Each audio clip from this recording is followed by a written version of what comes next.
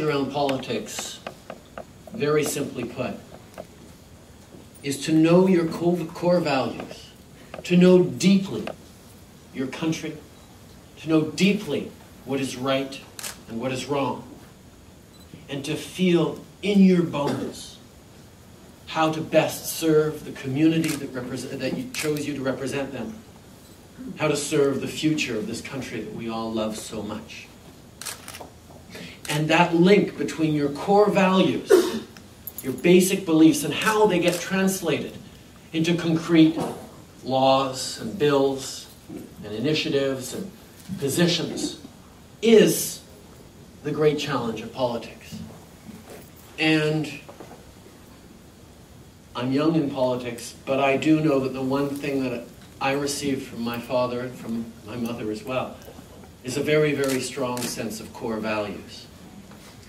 But I'm also a young politician, and sometimes it's not always clear to me what the right answer is for how those core principles and values get translated into taking the right decision as a leader, as a politician. And there's only one person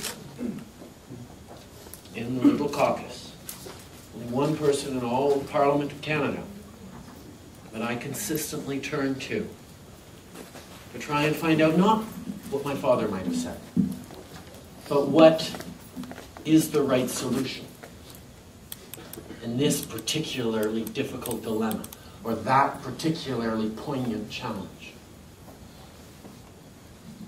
And that, of course, is the member for Mount Royal.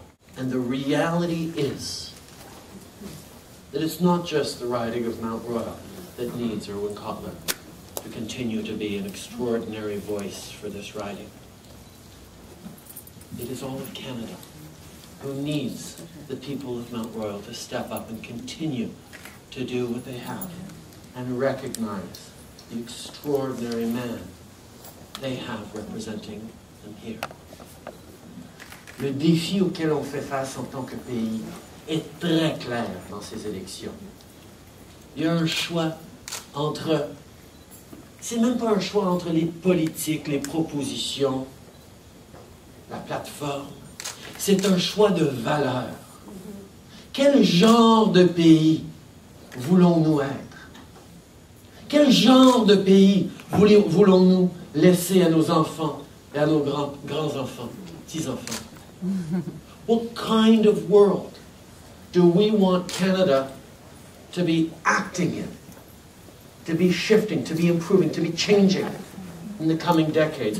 What is it that we want to be celebrating in 2017 when we reach our 150th birthday on paper? our 100th birthday in reality because Canada really only came into existence when it started stepping up on the world stage as Vimy Ridge. We are a country that has always understood we have responsibilities out in the world around it. And I know, even though we're surrounded by communities from every different background here, there is one phrase that summarizes not just the role that Canada should have facing the world, but the role of which Irwin Cotler is the embodiment of. Tikkun Olam. Yeah, I must say I'm very moved by the words of my colleagues, particularly because of the respect I have for each and all of them, and I'm proud to be a modest member of this Equipe de Tanar, of this wonderful group.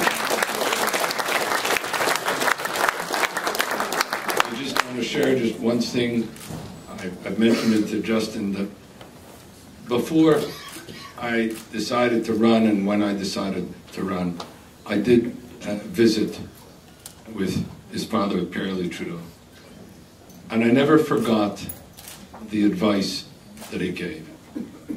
I'm going to go into the whole exchange, one, one line only.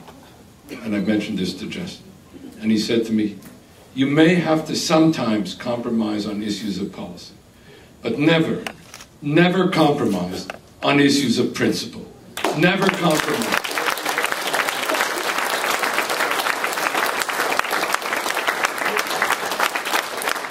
Never compromise on values and on issues of value. And I've tried always to remember and to live up to that.